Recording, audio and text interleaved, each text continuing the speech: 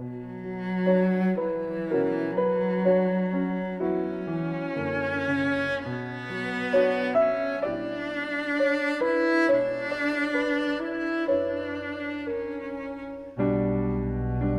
just hit so suddenly. It, it just took me by surprise. We didn't think, oh no, there's a chance that she could get really sick and die. We literally watched her dying. You know, her body was was dying inside. How does this happen? It's not supposed to. Here we had this beautiful, perfect, healthy baby boy, and all of a sudden, within a day, he's gone. Influenza is a very serious disease. About 100 children die every year from influenza.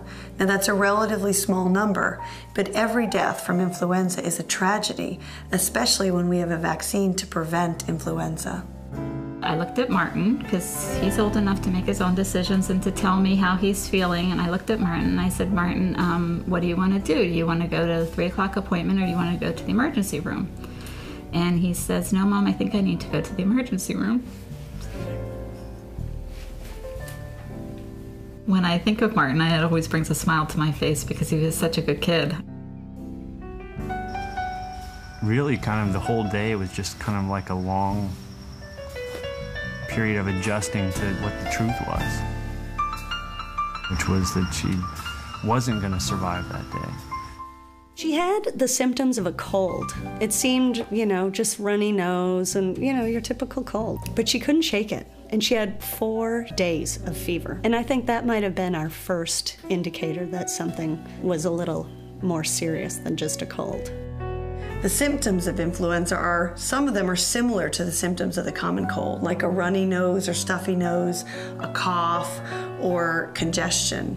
But with influenza, you'll also people see people feeling feverish, very tired, having muscle aches and headaches, things we don't usually see with the common cold.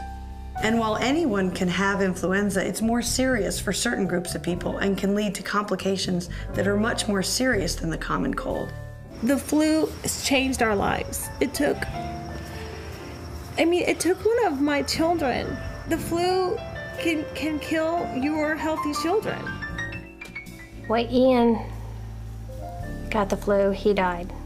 My other two boys who got vaccinated never had a symptom. I could have got Emily a flu shot, and I should have got Emily a flu shot. I should have got all the kids flu shots. Please get it. I, I don't want you sitting here having to talk about the loss of your child.